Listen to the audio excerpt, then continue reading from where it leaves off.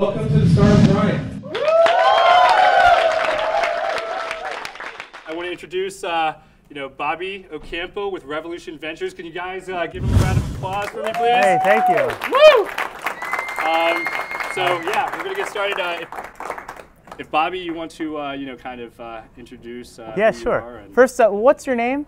Mine. Yeah. I love your shoes. They're great. I saw you could see them a mile away. They're great. They're great. Yeah. Yeah. Very cool. Anyways, thank you all for coming. I mean, I um, I'm very honored and to be here, and I it's because of people like you that we have an industry. Um, I was telling Leo right before we started that when I first got into venture five years ago and I moved to DC from the Valley, um, there wasn't much going on. All the people I was meeting with were really had these ideas, and I would meet with all the people in the world and just wanted to meet more and more people. And it's funny how many of those people actually have turned into really great success stories, like Tim at Living Social or the folks at Wedding Wire, and all started with these like people would come up and we'd go talk and have a beer, and Yeah. and it started from that. So th- this is really where it all begins. Um, so this is great. So thank you for having me, and thank you for coming. Yeah. Awesome. Well, um, we always like to start, you know, these these fireside chats with a little segment on, you know, the earlier days. We promise we'll keep it a little bit more bridge. We won't tell a life story, but um, you know, Bobby, can you share with us a little bit about uh, where it was, or at what point in your life, uh, you know, did you did you find this as your calling, or how did you get to this point? Yeah, I don't know if it's my calling yet. I'm trying to figure that out. okay. But so, anyone here work in finance? Anyone here like a banker ever before? I know where's Oliver. He's, he's over there. Yeah, he's a banker. So I, I actually, uh, my parents are entrepreneurs, and so I grew up in the valley, and they were in technology, so I assumed I had to be in technology too. I mean, when you're out there, it's kind of like living in DC. If you're not in the government, then everyone doesn't really understand what you do. And I thought, okay, there's only one option for me. So I was worked in tech and worked in startups. I was in school and whatever. And unfortunately, I graduated during a really hot job market. And all my friends were applying to these finance jobs, getting paid and getting big bonuses, whatever. And I thought, okay, well, I don't really know what I wanted to do. I thought I wanted to go to grad school and be an engineer whatever. And so I just applied to a bunch of finance jobs, like banking jobs, like all my friends did. And I just picked the bank that let me pick my group and my location. So I knew I wanted to work in tech, and I knew I wanted to be back in San Francisco. So I did that. And I hated it. It was terrible. I mean, that I was I was there from like 2006, 2007, to like 2008, 2009, and it was it was just it was the worst time to have got in basically, Gotcha. and um, it was really tough. And so I, I I didn't. That's only really the first part of the story and how I got into venture. But basically, most a lot of firms really look for folks who uh, were ex bankers because they can help crank and do work for you. And, and I was looking at a bunch of private equity firms and venture firms. And there's this little known firm called Grotech Ventures in DC that was looking to add people to the team. And I interviewed, and it was one of the firms that's looking at, and happened to stumble upon it, and ended up being a really uh, uh, fortunate and lucky to get that. Cool. Yeah. Um, and and I, I know that Grotech, you know, was, was heavily recruiting you a good bit Well- in terms of, you know, they were, they were definitely interested in you. Um, can you can you shed a little bit of light how, you know, how that relationship was built? Uh, Yeah. You said, you know, you, you had saw them in DC. Uh, can you give us a little bit more about, you know, how that relationship was built, and then also in terms of what you did there? Yeah, sure. So people, I don't know if a lot of people know the story, but it was actually, uh, I think, a cold call or a cold email. Um, I most people ask me, so how do you get into venture? I'm like, it's not.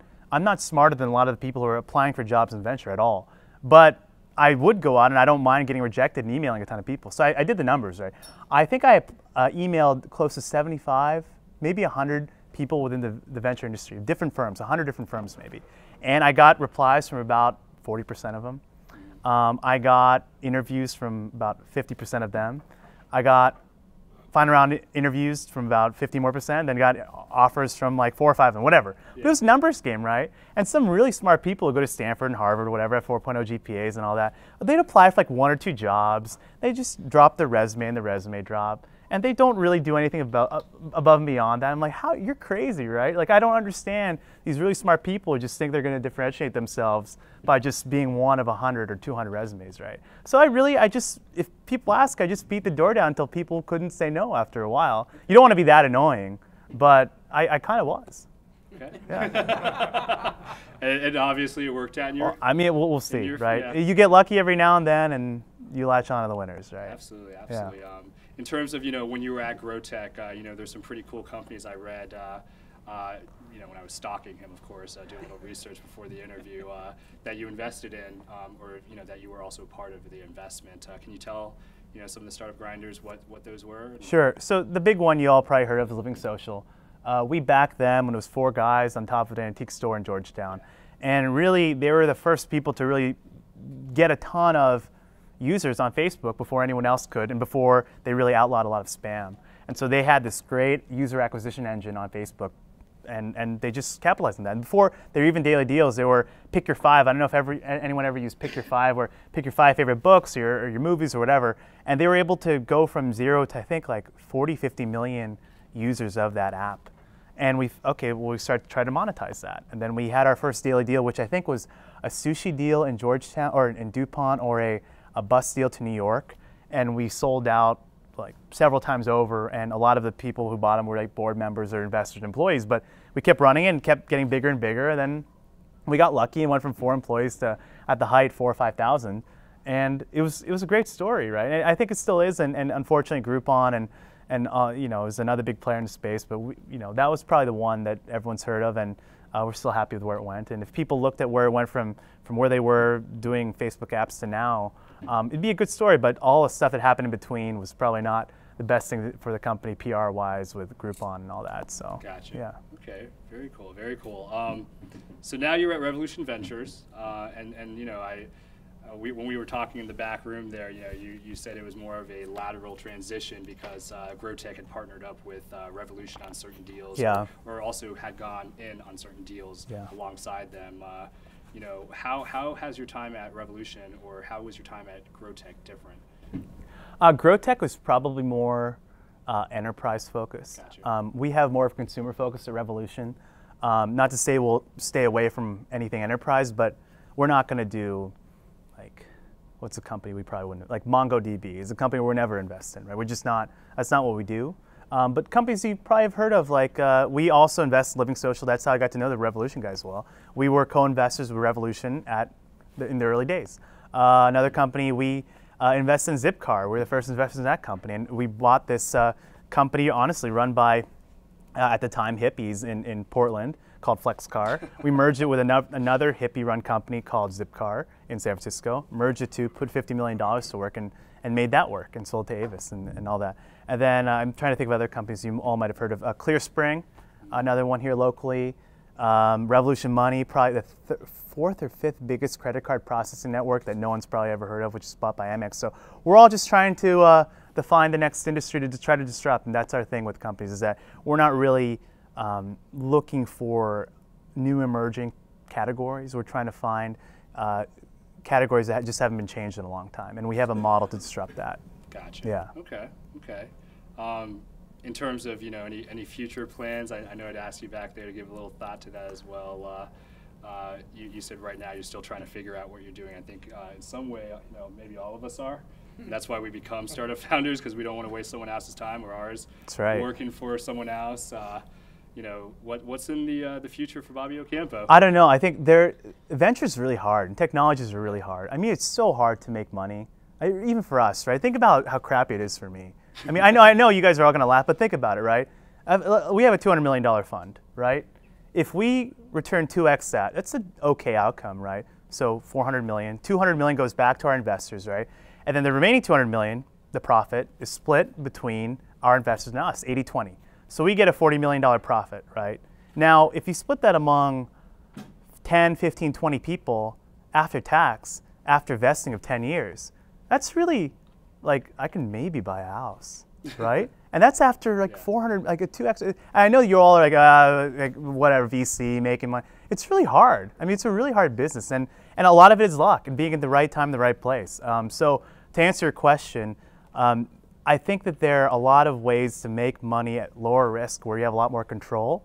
And we, we try to have as much control as we can at Revolution because we get really involved and probably more involved than some of the entrepreneurs want us to. But that's our way of trying to have more control over our destiny. So I'd say to everyone else, if, you, if you're looking at technology or venture especially, um, it's a tough business. I mean, there's only one WhatsApp every however many decades, right? And you look at the numbers there, we're running it through because we know the partners there.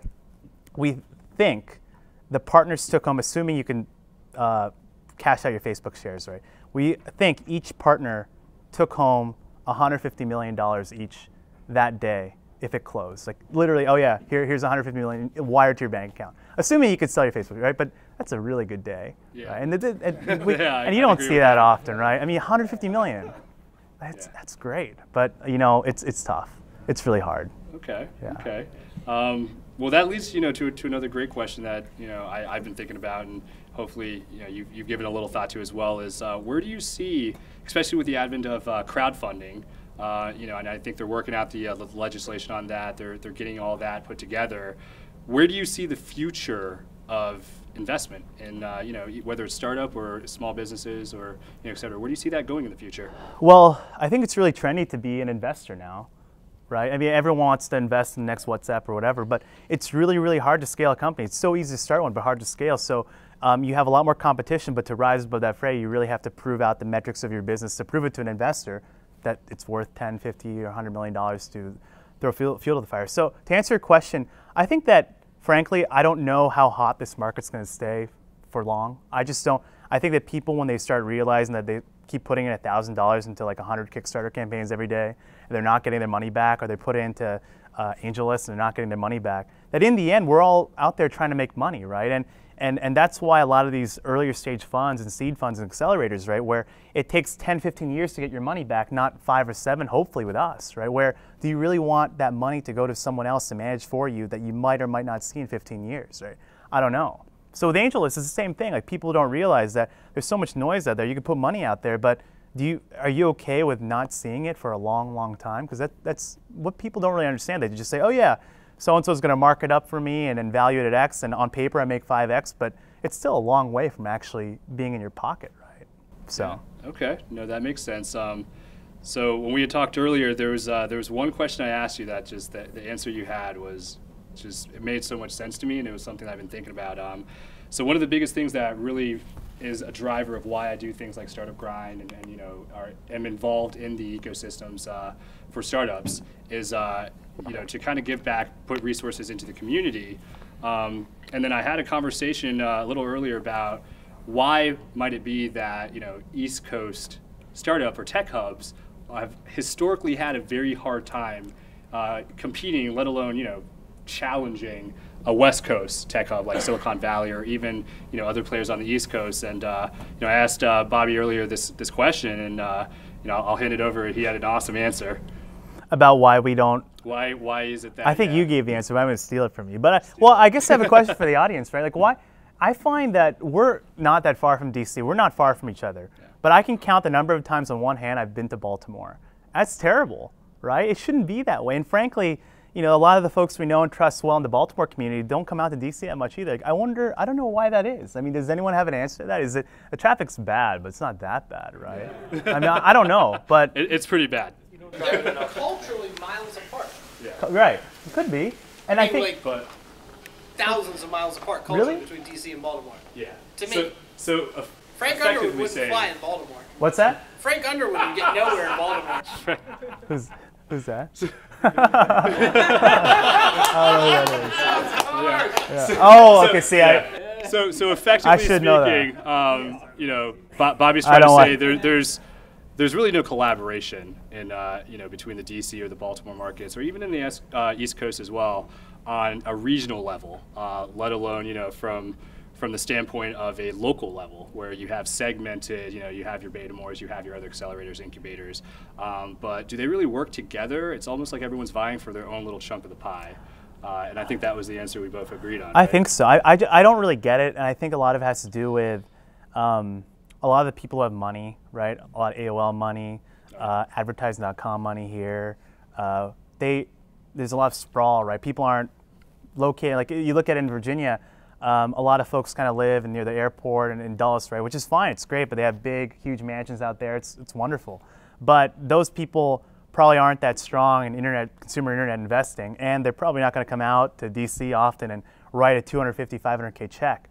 Uh, which is the big problem of why I think a lot of your companies in, in anywhere in the DC, Virginia, Maryland area don't kind of cross that chasm because that market does not exist here. You either have the early stage check, like a 50, 100K from friends and family, your own money, or you're able to raise Series A funding, venture funding, and hopefully make it big. But that middle gap, right, where it exists in, in huge amounts in the valley, just I don't know if it'll ever be here.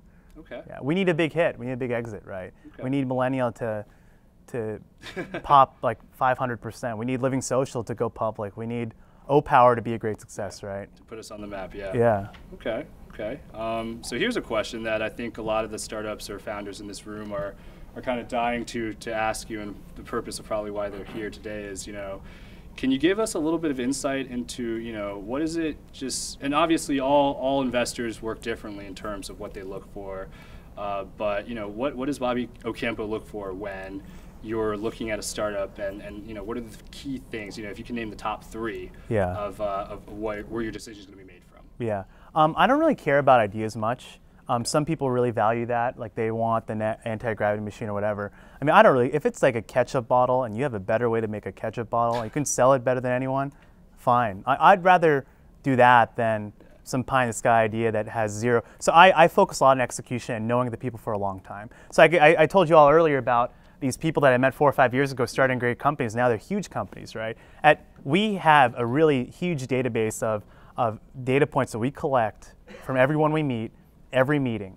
And so when people tell us they're going to do something, we talk to them again in two months. If they did it and they keep doing that, it's a pretty easy investment for us to make after we track them and or her and, and they've hit 20 data points, right? And we well that's great. But if it's one of those where they keep saying they've been here for a long time, it's four years later, they're still looking for 100k or whatever it is, and or whatever. Um, it's pretty easy for us to not make that investment, right? So uh, execution ability is probably number one by far. I, I think one, two, and three for me. And try and, and yeah, I don't, I don't really care much about the idea. No, and if they can prove that they can do a lot on a little, is, is very important to me too. Okay. Okay. Um, when it comes to the strength of the founders, uh, you know, I, I know that that's um, that's one that I've heard repeatedly, primarily more on the angel investment side. Uh, you know, is that something that you also put into consideration, or you know, where does that weigh in the decision as well? It ties to execution, right? Like I, I, it'd be great if that CEO had experience doing what they're doing now. But if they, if not, uh, it's okay as long as they've been able to prove themselves round after round or month after month, where we can track it, right? I mean, for, for me specifically, I don't, I don't, I can't control the macro, right? But the micro we can try to control, and if that person can just operate within that environment and continue to perform well, then you would think that the next three months or nine months or whatever the next milestone is going to be hit, that they'll be able to hit that milestone too. So that that's really what I try to focus in on. Everything else, I can't. Like I, I don't know if, you know, what what's going to happen to. I don't in clean. I don't know. How, there's so many other things out of our, our control. Yeah. But the one thing we can try to control is the team that's out there, right? Gotcha. So. Okay. And when you say execution, just to kind of clarify for everyone in the room, um, are there key things that you're looking for in terms of execution, like traction in terms of users numbers, or you know, what what are you looking for specifically? I mean, revenue is a pretty easy one, right? But whatever it is, and generally a company that comes to us, and it's usually early, right? So people come and we determine that we, it's just not like for us, we have to invest anywhere from one to 10 or 15 million initially. And that means they have to be raising three to five million. So it's like a Series A. So most Series A companies are, I don't know, post product, revenues in the hundreds of thousands, if not low millions in run rate, uh, and are, we're just throwing fuel to the fire, right? Um, it's pretty easy to figure out if we're that right person for them. Gotcha. Right? Uh, and generally, if it's like pre-product and still an idea, and you haven't quit your job yet, or put money in, that's a real so I, I lost track of your question, but that that's sort of what where we like to get in at. Gotcha. Um, and and that's and then we have our growth arm, which does like later stage stuff. So stuff you probably all heard of here locally.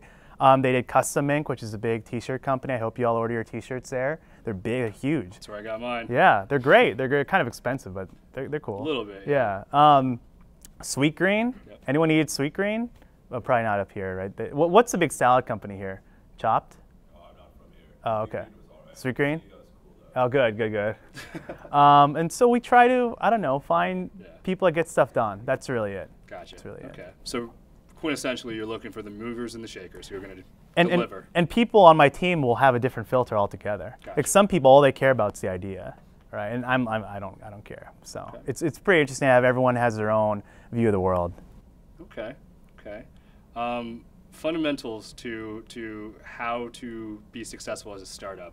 If you're at early stage, Yeah. uh, you know this might be even a curveball question for you. Yeah. Um, if you're an early stage startup, you know what are some areas that they should be focusing on? Uh, I think if, if they're going to be seeking investment down the road. Oh, abs- I would avoid people like me as much as possible. okay. I'm dead serious.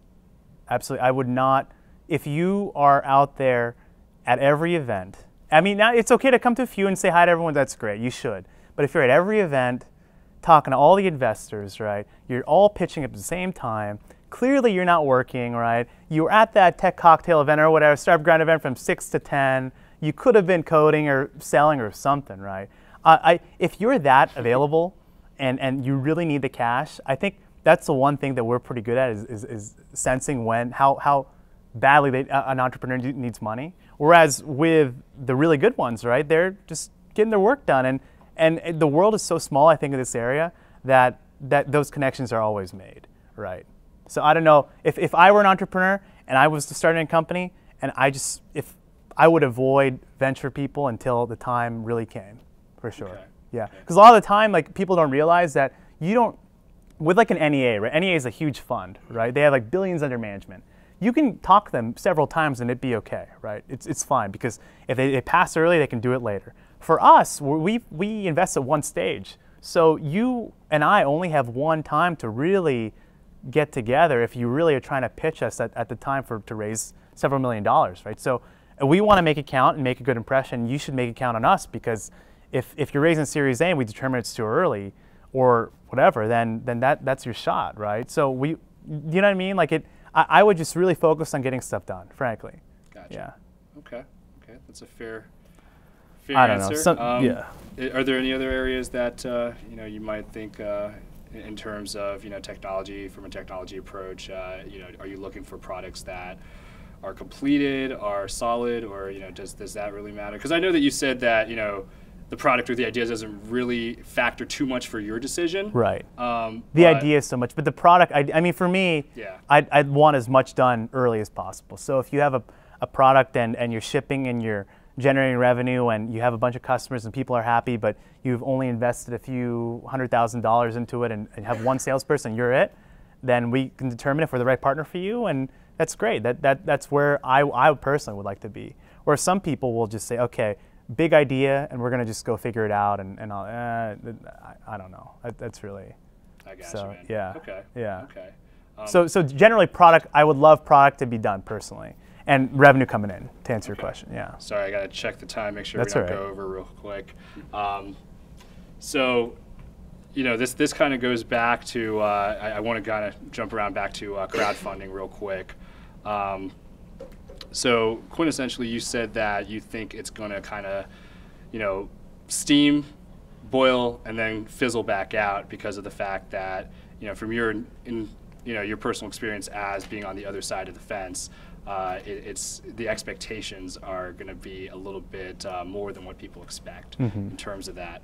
Um, now, do you think that there might be a better way, or you know, and, and this is kind of a multi-part question: is um, do you feel or, that there might be better ways, or how effective do you think that the systems right now for attaining uh, startup capital, uh, you know, how, how effective do you think they, they are? Because you know, I, I told you, it's almost nearly impossible unless you have that relationship, like you had mentioned. Yeah. Um, you know, I, I guess I'll let you answer the question. I think that if you if you're working on something good and you believe in yourself and you're clearly getting stuff done, that the market has never been more fluid than it is now.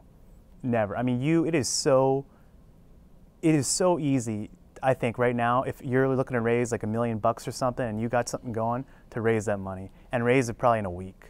It really. I mean, and and we see it all the time with entrepreneurs that where it's clearly early for us, right? And we want to invest, right? But they, they, they realize that they just want to do it, hopefully get us later, and we'll have to pay up. Um, that anyone with a good story and, and a, like a little prototype can, it, it's really good, and it's going to get better and better, I think. Now the now the issue is I don't know how hot this market's going to stay, Gotcha. right? And so I personally I. I, I don't know if I'm long on the market at the end of this year or even in a quarter or two. I just don't know how it's, it's sustainable, right? Um, and so you have to uh, account for that when you're like because honestly when the market if the market does go and um, uh, I guess recede a little I don't know then you everyone's affected right because how it works in venture we have our portfolios right and then we market to a lot of the time to public comparables which isn't fair but we have to ascribe some value to it and so when the public market goes down the value of our portfolio goes down. Our, our, IRR goes down. And so when we're out trying to fundraise for a new fund, our, our, everything is tied to the market, right? So when you're uh, an entrepreneur and you're trying to raise some money, I mean, if you can get it, get it quick, and you know that it's probably pretty easy and, and you don't have to do that much work, I would take it. And I would take it now because I frankly don't think it's going to last for, for, for too much longer until we kind of have a, have a bit of correction. But I might be completely wrong, and don't sell your portfolios and all that and, and whatever. But that's just my my take. Yeah, and and we're we're seeing with a lot of our companies that are software companies where it how, how I mean they're like trading 10, 15 times their revenue multiple, and they're highly unprofitable. Unprofitable. Like that is not sustainable, right? Gotcha. So- okay, and do, is that the primary reason that you feel that that's the direction of the market in terms of? I, I, it just doesn't make sense to me, right? I mean, back in the day, you invest in a company uh, uh, with a PE ratio, I don't know, of like, I don't know, five to 10 times, where if you idea, if you invest in a company and you get all your money back in five to 10 years, right?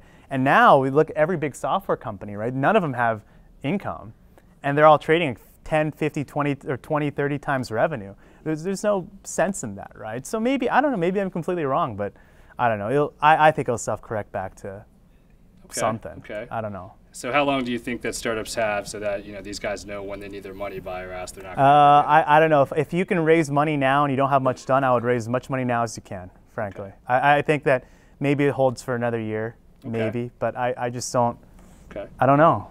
And, and that leads to a good point. Um, you know, in terms of uh, raising money, you know, every, everyone's always being taught to be conservative. What are your views on that? Do you think that you should get as much as you can now, or you know, conservatively raise? I would raise as much as you need to get the next milestone to prevent the, the dilution that would be coming. So if you think that you can uh, uh, figure everything out uh, in six months or nine months to prove out whatever you need to prove out, then get enough cash for six nine months, maybe with a little buffer.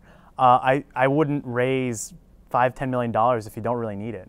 Um, that, that's what I would do. And if you can really prove it out and you think you can justify valuation nine, 12 months from now at a much higher price than what you're raising that money now at, then by all means go do it. Um, but I would not just take cash for the sake of taking cash. Um, and a lot of people are kind of doing that now because they can command it and they can get a big price. But it's great. But I, I don't know. I, I frankly wouldn't run a company like that. So that's just my take. And take a little more money than you think you need to take. I don't know. I, 12 to 18 months is frankly what I would do of, of burn, whatever, however much that costs you. Okay. Yeah. Okay. So figure out what you guys need for 12 to 8 months and get it soon, because the market's crashing apparently to. Uh, I don't know. I don't know. I would just say if it's this easy to get money, Yeah. then for me, advantage. take I take it because I don't. I don't know. No, no, right? I- I don't agree. know. That makes sense. What do I know? Yeah. what do I do, Mister? Right? Uh, no, that makes perfect sense to me. Uh, do you feel like there's, uh, you know, any areas that uh, that VCs or angel investment, uh, you know, can can improve uh, from? Your eyes got big there. yeah. So I think there's. we can get we can get quicker probably. We can probably get quicker. Um, it used to take three to six months to get venture money. Now, if you're really hot and doing something well, it could take a day or two. Um, but generally, it takes still a month or two, and a lot of it's legal that cleans everything up and makes sure structure's all correct and the cap table's clean. Um, but I would, I mean, I'd say to all the entrepreneurs here that um, try to be really organized when you're setting up your docs, your articles, and all that stuff, and have it all in Dropbox or Box. Because when an investor comes in, they see you have a clean bill of operations, whatever you want to call it. Um, it saves you a ton of time and saves us a ton of energy and time too. So uh, some of the better ones that we're seeing will have like 15 subfolders within Dropbox, right, and have 10 subfolders in each folder, right? So each subfolder. So it makes it so easy that we really have no questions. We just go through all the docs and get it done. And, and this is like Series A. We can get it done in two weeks, and that's great. So wow. I'd be really organized, and it shows well. And, and your investors, I think, feel really good about you if you have that um, in place. Absolutely, Okay. absolutely, Okay. yeah. Um, any other areas besides just possibly the, uh, you know, the the um, being faster at Yeah. uh, at reaching, you know, closing? Um, do you think there's any other ways, maybe making yourselves more accessible, or even? Yeah, maybe. I think that um, I don't. I guess a lot there, there's an issue. I'd love to hear what other people think here in the audience about how how, how do you approach a venture firm at the right time and, and how to, the best way to do it. I'd say the best way to do it is, is to. Uh, I mean, there, the world's so small here that there's always a connection. So think about your, your counsel, right, or, or your, your uh, accountant or whatever it is. Chances are they probably the accountant or the lawyer for the venture fund, and they'll tell you if it's worth the right time is now to meet with them or not, and then just have them make the connection for you because you really don't have to go and reach out to me or someone like that directly ever. I, it, it just especially here, right? I mean, I don't know who here. Uh, uh, how many people have startups here? Like maybe half. Uh, is your counsel? Raise your hand if your counsel's Cooley. Only one, two, really? Okay. Well, I mean, DLA or I don't even know, right? But take the Cooley example because in DC it's different, right? Probably 80% is Cooley. I mean, you talk to Mike Lincoln at Cooley, and he'll connect you to every venture firm you want to, right? And then you don't have to go and cold email someone, right? Exactly. Carl Grant, exactly, does biz dev for them. So I would lean on your net, your own network because it's stronger than you think. Gotcha. Yeah. Um, and for the startups that you know don't don't have that Yeah. resource or support, just because um, you know some some startups don't know where they can get that information or you know even how to obtain those resources. Uh, is there kind of a way to determine that you you've kind of come to understand? Uh, to kind of do a gut check and figure out when it might make sense to start seeking investment. That's a good question. Um, generally, if, if you, so I don't know if this makes sense to anyone, right? But if, if you look at the median of how much money has been put into a company before we put in money, where they are progress wise, how many people they have, I don't, th- this is just ballpark, right? Generally, when we invest, about anywhere from a couple hundred thousand to a couple million dollars has already been put into the company, right? They generally have anywhere from five to 25 employees. Um, product is done, but it's still sort of being iterated, and they're revenue generating in I don't know in the hundreds of thousands, right? But they figured out a model to kind of scale that quickly. If you think you're kind of in that zone, and you're attacking something that's hard and, and, and you're passionate about it, I, I'd say deep down you'll know. Now, if you're saying, oh, I need to $2 million to hire my team, I got a team out in Pakistan working and, and they're all part time and I'm part time, I work at Deloitte, and I need $2 million. Like, we're not gonna, we're not there to find out if there's a fire or not. We're, we're just adding fuel to the fire, right? You, you have to be the ones to determine that or, or building the field. We're not there to build the field, right? We're just there to, to play and play in the field, right? So uh, deep down, I think people know, right? That, that's just me. Okay. Right? If you need a couple million dollars to build your, build, build your product, chances are, or, and, and you haven't quit your job yet, and you're waiting for the money. I mean, this happened. la- Uh, uh, this is my prior firm.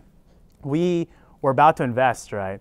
But we found out that the entrepreneur and the whole founding team hadn't quit their jobs, and they were basically only going to quit their jobs if the funding came in. And then once we found that out, like, fuck, we're not going to do that, right? Why would we do that? Because then they're all going to take like six-figure salaries and be out of cash and forget it, right? Yeah. No, you all have. We everyone has to be committed to it. So Okay. Yeah. Okay. Very cool. Um, well, um, I guess that's going to bring in the uh, the session of uh, Q and A. Cool. Uh, we have time for a couple questions. So, oh, come on over. I have, I have a sorry, I have a cord on this. Out of curiosity, you mentioned you know the highs and lows of LivingSocial Yeah. from a, uh VC standpoint. From initial investment to where they are now, how have you seen their decisions as far as real estate and infrastructure from technology and you know their their hard office space kind of affect from a PR standpoint and an investment standpoint moving forward with future um, companies? Kind of how have you seen that change, whether it's an investing model or from an advising standpoint, how much you actually step into the decisions they make yeah. from an advising standpoint on the real estate? So did everyone hear that question? It was about LivingSocial, real estate infrastructure, and watching the roller coaster ride. Um, it's a good question, loaded question. I'm not sure what, what you want specifically answered, but I guess to answer your question in the, the first part of it, I mean, clearly it was a, uh, a land grab. I mean, we, we were competing with Groupon. Um, and the only way to do that was to throw more money into UserAct and to hire more people to make more sales, to go to Joe's Taco Shop and sell them and not Groupon. Um, and clearly, and we went from four to 4,000 employees in, I don't know, like 18 months. And we'd fly people in on Saturdays. So I don't know if you ever heard about our Super Saturdays where we would fly in 50 or 100 people on a Saturday for one, for like five hours, right? To do interviews from room, room to room to room to room. And we'd pick 10 of those people. And then we did it for every Saturday for like a year. And, and, or maybe a Saturday and Sunday, something crazy, right? So clearly we had to put in a huge infrastructure bet on uh, things like 918F, which you're probably alluding to, uh, and office space. We were everywhere. And then frankly, we grew too fast. So we, there was um, not enough coverage for all the people that we hired. So you have Susan and John uh, trying to sign up these restaurants in DC, but they're all within like one's in Logan Circle and one's in DuPont, and they all kind of touch. It's like, well, you don't really need five people or whatever covering that territory. And frankly, and, and we it was mostly defensive maneuver against uh, Groupon, right? Because they were we had different models, right? They were at for, uh, an outbound uh, calling sales sales model, and we had people on the ground, and we would hire people who lived uh, or went to college in those areas, so they knew all the good places to go to. And they actually migrated more to have our model because they found that we were getting all the good merchants, and we migrated more uh, to their model because it's cheaper. So I don't know if I answered your question, but going forward, now we're just trying to grow wisely because now it clearly there's only two winners. There are about three or four hundred companies at the time at the height, and we've won, but now we have to actually make it a real business. So to answer your question, I think going forward now we're trying to make it a truly profitable enterprise, not just grow for the sake of growing like we were before. Yeah. Cool. All right, I think I saw a question. I'll get this uh, young gentleman in the front. Sure. Thanks for coming out, Bobby. No, thank you, Um, Ryan. I wanted to ask what your opinion on startup accelerators is. So your que- did you tell him to ask that? So he asked about Startup that. Accelerator. Did you ask? Did he tell you to ask that? Great minds think alike. Yeah. What What specifically do you want to answer? Do you like what? Should you be part of one, or what do I? Yeah, I'm thinking about applying to one. Yeah. I've applied to one and got rejected already. That's all right. Before I was ready. But uh, I have an opportunity ahead of me that looks promising, but it's with a big firm. It's with Disney. And uh, it's intimidating because, you know, they're a $100 billion company.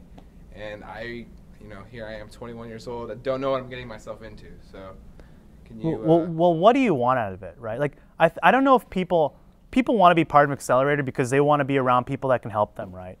And and raise a little money.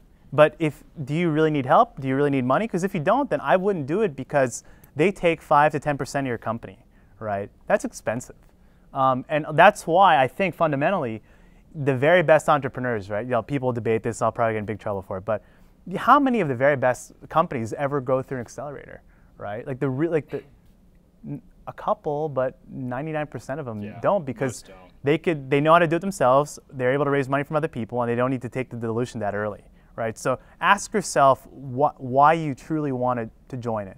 Is it because you want to like get to know people and build your network and find your co-founder? That's great. You should probably do it. But if you already know what you're doing, and you have people signed up and you have a little money and revenues coming in, then Keep the equity. I keep the equity. That's what pays out. in the end, right? Absolutely. Did that answer your question? I don't know. It's a little more in depth than that. Okay. Yeah, I, I appreciate the feedback. Yeah. Okay. Cool. Yeah. But you, And- I mean, I, I And have Bobby's a lot to think about. I'm Yeah. getting into the media space, and yeah. it's, And- it's by chance that the, the person that's running the entire program, it's a TechStars run yeah, program. cool. I met him last April, Mhm. Okay. and uh, we have a good connection. So it just Cool. happened to be. They're good people. Tex, they're, they're really good people. You And- can't go wrong there. yeah, And that's I got, definitely got a lot something- to think about. Yeah, That's definitely good. something that uh, you know Bobby will be walking around afterwards if you want to take him aside, and I'm sure he'll be able to answer Yeah, that thank you. Uh, you mentioned earlier that uh, there are certain things that startups should focus on and certain things that may be a waste of their time. Yeah. What would you consider to be a waste of time? Anything mean- that doesn't give results. Probably. I mean, I, but you don't have to go to a hundred different events, right? You go to a couple, but I, I would set clear goals for yourself, right? If your goal is to raise like 250k for your startup, what's the best way to go about doing that? Um, probably hooking up with one or two of the local young angel groups in DC or, or Virginia or Maryland. Um, not pitching them, but finding out who's in charge and getting to know them. Understand what it will take to get that money. Um, okay, go work on it. Um, go on LinkedIn, troll their networks, right? And then find out, okay, here's, who, here's how they know them, and, that, and then figure out what, how to get from point A to B as fast as you can. Because all that other stuff, right? I mean, I would like going to events or or going to fun stuff or finding a going to a, a co-founders meetup or or a Ruby dev- whatever, right? Like get from point A to point, point B as fast as you can because in this industry, right, I mean, we have to return money as fast as we can, and you want to make as much money as fast as you can, right? So uh, there are a lot of great operators in town who are young who've done a great job of just zoning everything out. You have a goal, and then have sprints, right? S- figure out what it will take to get to that goal, and everything else that, that's not involved with that, just don't even go and just go ahead. So I don't know if I answered your question, but just figure whatever your goal is, right? Just figure out how to get there, right? And and not spend time, hopefully, going to too much networking or or Exactly, or like meeting with a, a co-founder who might be your guy or girl or whatever. I, I, don't, I don't know. Maybe that maybe that's what you want. So Yeah. sorry, that wasn't that Think, direct. think CrossFit, more more work, less uh, less rest, right? Any other questions? We got a couple here too, and Oh. there, there's one there too after. Grab Tim right Hey here. Tim. Hey, hey, this is a communication question. Yeah. Um, and this is probably even like even for this this room, as your pre you, and maybe even in an angel phase. Yeah. Communication. Yeah. Like and not even just coming up and pitching. Yeah. But communication from a holistic sense of how you look, how you feel. Yeah. Uh, when you're not into the 15 subfolders on Dropbox, Yeah. but maybe you've got. It's a great question. You yeah. got one one Like- folder on Gmail. Yeah. Like what what ad- like thoughts on what? Yeah, the- what's the, what's the best way to do that in a lean, effective way? What would be your thoughts right off the jump? If you were even to say, "Here's three good points Yeah. on how to communicate effectively," when you hand them Yeah. something post the conversation. Can I practice with you? Can you pretend to be a VC and I I can will- be like an entrepreneur, or whatever? Make it my VC Okay. mode. Yeah, yeah. There you go. Go. Okay. hey, hey, I'm Bobby. Tim. Hey, nice to meet you. Nice to meet you, Bobby. Hey, I know you're really busy. I just want to drop by and say hi. I have a startup called So and So. Like I, I make anti. So and so, yeah. good. That's a good URL. Yeah, I make anti gravity machines on my spare time, right? Now it's starting to get a lot of uh, commercial pickup because people really just love anti gravity, I guess. I love it. Uh, but I know you're busy, and I know you probably don't believe me, and you look interested. So I'd love to. Here's my card, and if, if you have one too, I'd love. I'll ping you. I know you have a lot, lot of people to talk to. If you're interested, I can plan to send you an email, and then maybe we can chat for 10 or 15 minutes, and, and that'd be great. Great. I'll, I'll look forward to your email. That's it. All right. Right? effective. I don't know if that was good, right? But sorry, I didn't have a good name for a company or uh, what we did. But but yeah, but quick. It, I don't know. No, it was good. That, that's I what. liked it. And so, in, in terms of like, did you ask address and all that, or did No, you I want meant them to answer in- that too, or in- no? uh, uh, after Okay. the conversation, Yeah. after we've talked, Yeah. and then you're going to say, okay, now I'm expecting an email from Yeah. you. What should you have? What should you have put together? Short. So I, I the, those TLDR don't do not send a, a 15 meg deck. Do not write five paragraphs, right? Don't send it at like 12. Send it at prime time, like 9:05, 9 a.m. Monday through Thursday. Uh, three sentences. Hey, we met here. Here's what I do. I'm making great progress, so I don't really need to talk to you. But if you're interested, I can tell you a little bit more about me. It's almost like dating. I read this. I wrote this blog post like four years ago about how uh, uh, raising ventures, like um, getting a first date or any date, and you want to kind of play like hard to get. Like you don't want to be the guy or the girl who is dating everyone and everyone knows it, and you're just giving away your candy for free, right? I mean, who, no one wants that, right? You want the ones like talking to people, kind of good looking, working on stuff, but might be too good to talk to you, but maybe maybe you'll work out. But I, I'm watching him or her, right? It's a game. It really is, right? And I hate to say it, but it's effective. And a lot of people raise money because of, of being really good at that. Yeah. Good stuff. All right, Yeah. we got time for two more questions. I'll take uh, this gentleman right here. First off, uh, Matthew Eierman. Hey, Matthew. HD Scores. Uh, Hey. th- th- thank you for coming up from No, DC. thanks for coming. And then uh, second, term sheets and standardization of term sheets. Yeah. Uh, we've seen uh, we've seen a few that have s- had some crazy terms. Yeah. Uh, it's more so in the angel world. Yeah. But it seems that VC and angels are, I guess, I guess cleaning up their docs and I guess making their docs more similar. Yeah. What should I guess? What are your biggest things that you're looking at in the term sheets? Because obviously you you guys have, pre- I'm assuming, pretty standard term Yeah. sheets that you guys use.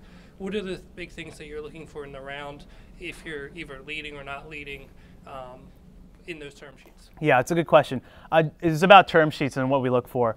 Um, so we come in early enough where it's not, like generally we're not, our terms aren't too onerous and we're not going to be a big pain in the ass to the entrepreneur.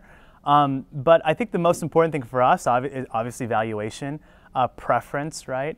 Uh, dividends and, and uh, how much dilution you're, you'll be taking and pre and post option pool refreshing. So that basically, I, most of you are probably familiar with that but it's also adding to the dilution of you if it's pre pre uh, closing and post closing. When you refresh your pool 15%, meaning more options are available to people uh, outside of you and it's just your new employees, you're being diluted 10 or 15% more. So you got to be aware of that. So I would say that um, to your question about standardization, um, hopefully, I, in a good market, it's your market.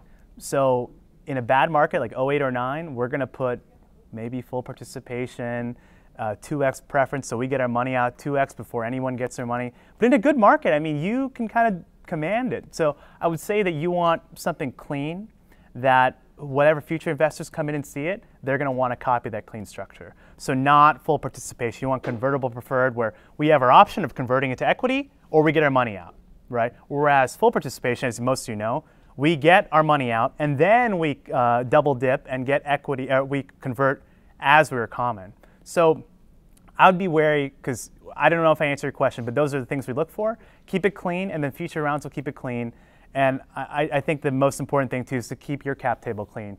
Um, uh, it's really important, I think, that for us, it's harder to invest in companies when there are four or five co-founders because now they're all really sensitive to dilution. Um, and having each having 20% is so different from having 50 to 100% of the company, where we sometimes can't get a deal done because all the founders just can't agree to owning 15% of a company anymore. Um, so anyway, I don't know if I answered your question. Yeah. Cool. We got time for one more quick question. One, and two. We can answer all of them, man. I don't mind. oh, sure. Okay. Um, so, from a VC perspective, hey, sorry about that. Um, from a VC perspective, um, you talk about the overvaluation of startups. Um, like WhatsApp just got, I think, 19 billion. Um, what do you think is causing it? So, maybe you're of the perspective where you're always a little bit more cautious as the markets rise and fall. But, I mean, what's what's up with that? Fear of missing out, I think. Um, and and in the, in the um, instance of Facebook, right, um, that was a very, very competitive process of, of buying WhatsApp. Um, they had offers from, I think I heard, close to 10 different parties, right? And other people wanted to finance them. So with Mark and what he does, and I don't know him very well, but I, I have friends who are apparently good friends with him. He, eh, like with Facebook, right, it's not like LinkedIn where there's one work network Right now, it doesn't look like there's anything that can disrupt that or compete with that. But with Facebook, there are all sorts of other ways to communicate with your friends, and that younger core demographic is key for making Facebook stay like Facebook and not MySpace, right? So owning the mobile messaging internationally was really important to him. Uh, was really strategic, right? That, that was probably the number one thing.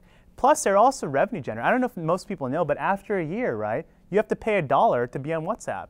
So there, I heard it was rumored they were doing um, a couple hundred million dollars in revenue and highly profitable. With I think 45 people work there, so they're buying it off the, the actual metrics and the growth, adding a million users. So to answer your question um, about valuation, um, sometimes when you want to bid up and pay and you think it's important to you, and you just just go get it, right? And and some people do that, and we don't. We're not going to be um, bidding and, and hopefully winning on, on things. We hope that we want to work with people that want to work with us, right? And and we when we invest, we it, it's generally because uh, it's not a, like a, an auction. We go and are preemptive and want to work with that entrepreneur, and hopefully they want to work with us. So I don't know if that was helpful, but cool. All right. Thank um, you all for for time. Yeah, I don't know. Well, if I, I, so we always like to end the uh, the this interview part of the fireside chat with uh, a unique question that uh, we're going to copy the DC chapter right now. I'm sure Brian's going to look at me and smile over there. Um, so we always like to ask, you know, our our fireside chat uh, attendee, uh, you know, what or who is your favorite superhero or historical figure? Iron Man. And wow. I love. Wow. And why? I mean, I never read the comic books, right? But you guys all watch the movies, yeah. right? How would you not want to be Tony Stark yeah. and hang out with Scarlett all day and, and Gwyneth and fly around, People be like, I know, and like have every toy, right? I don't know. It seems a lot more cool than maybe like uh, Batman was pretty cool too, the new ones, right? But I mean, Tony's just so much cooler. Very I would think. Cool, yeah. I mean, you all saw the cameos that uh, Elon was in there from Tesla and, and SpaceX. He was in the second one, and it was pretty cool tribute to him. Well, you know, not tribute, but I mean, he's like the real Tony Stark, yeah. right? I mean, it's actually funny that you said that. Uh, I was on Wikipedia because I'm sure all of you guys go on your Wikipedia tangents, um, and I looked up uh, Elon Musk one day, and uh, the Tony Stark uh, character is based off Elon Musk. So if any of you guys didn't know that, that's your uh, fun fact for the day. Compliments of me, that's a free one. And people, and then get this, right? So that's a great point. But in 2009 or whatever, or 10, or when Tesla was kind of on the down and um, all his companies were kind of not really going that well, he was borrowing money from everyone, sleeping on people's couches, right? Now everyone's saying how like how smart and how great he is. He is, right? I don't doubt that. But I mean, he was that close to being like bankrupt, and right? Homeless, so yeah. and homeless. I mean, it, it's an amazing story. good for him. And one good market and a couple good years, right? It, that's all it takes. So. Okay. Yeah. Okay. And then uh, just one last question I'm gonna throw in is, uh, you know, if you had some advice on uh, what to expect, especially because I, I talked to some of the guys in the room and girls. Sorry about that. Uh, some of the you know people in the room today, um, just trying to get a better idea of you know what type of startups they're starting, and a lot of them it seems like are newer or earlier stage startups. Yeah. Um, you know, what's your you know kind of parting parting words for them in terms of what to expect? Uh, you know, just kind of some some Bobby wisdom. Um, I would keep keep working incredibly hard like you all are. Um, don't waste time on stuff that doesn't matter. Uh, get just move the chains, right? Move the chains. That, that's all it is. And and those are the types of businesses, frankly, that I like. Where okay, it's just I know what I need to do. I knew I know what I need to get done. We're gonna just gonna go do it. Um, I'd focus on that, and day to day, just get better every day, frankly. And then at the end, you hopefully will be pretty happy. And that's where a lot of the folks, frankly, when I was first talking to them at a similar event in DC in 2008 or 2009 or whatever, they had these like little ideas. And I'm like, oh, cool, you know, great guy, great girl, like whatever. And then now they're all like 50 million dollar raises, and Yeah. you know, they're, they're but they're the same people, right? So you hope that also for all of you that do become or already successful, um, make sure that you angel invest, please. You'll make our jobs easier, um, and give it back. You try to give back to the community because. Uh, um, this is the whole reason why we have a job and, and I, why everyone is here, right? So I'd say just try to pay it forward in your time or your resources or whatever it is, because I think that's what's lacking when we talked about it. Where I think that a lot of after big exits, right, people moved to their manors and XYZ suburb and never came back. And we're in the valley. It's it's almost like a club where you you ha- want to be part of that club again, and you got to go and put money back into the system, right? And you only do that by your time and being an advisor, sitting on boards and investing, right? So when you're all billionaires, please just and invest in us so we can have jobs and all that. So anyway, that that'd be my advice. Awesome, awesome. All right. Well, we could just uh, have Bobby uh, one more one more round of applause. Thank for you, everyone. Thank you. Thanks.